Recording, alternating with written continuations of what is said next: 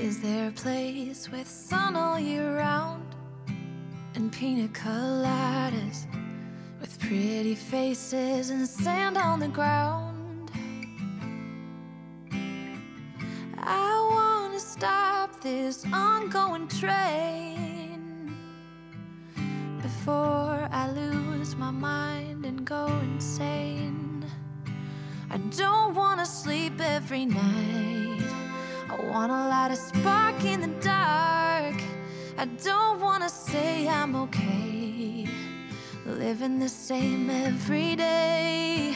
Hola, bienvenidas nuevamente a mi canal, mi nombre es Daniela, muchas gracias por verme nuevamente. Hoy les tengo un video de estilo también de cosas que debemos de probar después de los 40, 50, que me inclino un poquito más a los 50, 60 y para arriba.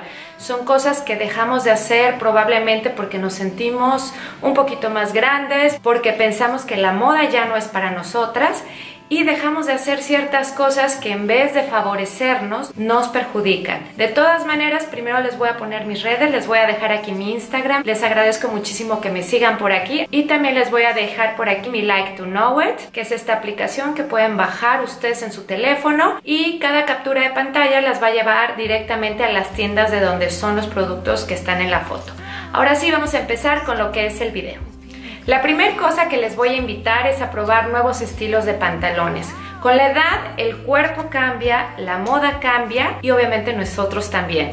Es importante ir cambiando junto con la moda e ir adaptando el cuerpo que tenemos al momento con las tendencias un poquito y con lo que nos queda bien. Así el pantalón que hemos utilizado toda la vida, los jeans que utilizamos toda la vida probablemente ya no sea el pantalón que nos favorezca. Yo lo que hago es irme a probar varios cortes de pantalones y veo cuál es el que más me favorece o me oculta esos detallitos que no quiero enseñar. Por eso cada dos, tres años es bueno evaluar el corte si es el indicado para nosotros. El cuerpo cambia y los cortes también. Si queremos lucir modernas y no vernos más grandes, es importante analizar el cuerpo que tenemos al momento y de ahí partir para buscar nuevos cortes para la figura.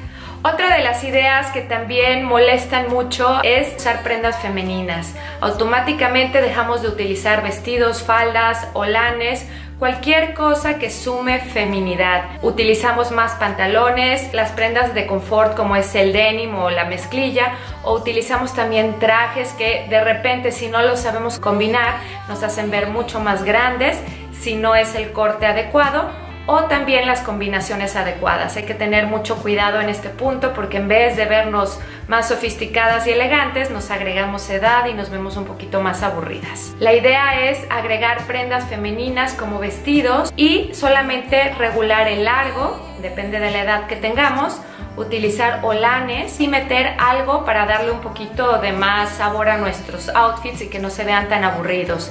Las figuras planas hay que saberlas llevar y hay que tener cuerpos para ellos. Y de repente podemos poner volumen en donde nos hace falta y eso va a hacer que nos veamos siempre joviales conforme va pasando la edad.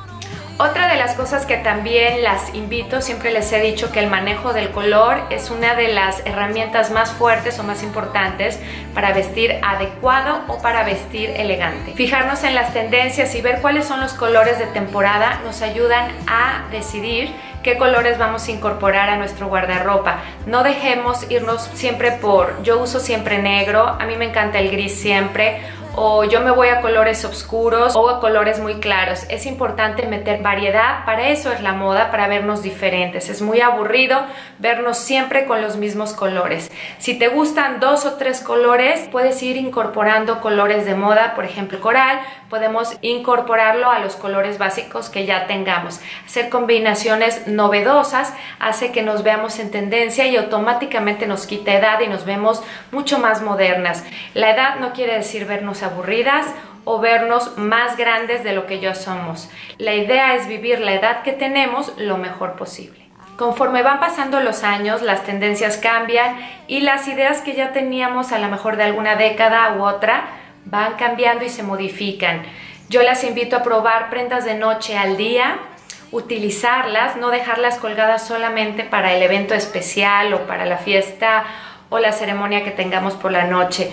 Hoy el brillo es un punto muy importante que se utiliza, es un accesorio ya casi, lo podríamos decir así. Ponlos de día, agrégalos a tu día a día y vas a ver que también te vas a ver mucho más moderna y mucho más jovial. Puedes hacerlo en pequeñas porciones, como por ejemplo un bolso estilo clutch que sea de noche, utilizarlo de día, o simplemente unos zapatos brillosos, incorporarlos a tu vestir casual con jeans o a lo mejor con un traje para darle un pop de color o para hacerlo un poquito diferente. Y la última idea que les quiero compartir, que es algo que me preguntan normalmente, es si los tenis los podemos seguir utilizando después de los 50, 60 por supuesto que sí, los podemos incorporar a cualquier outfit. De hecho, hace poco vi a mi mamá con un traje sastre, con unos tenis y se veía súper linda. El mezclar estilos hace que el efecto sea mucho más juvenil, muchísimo más divertido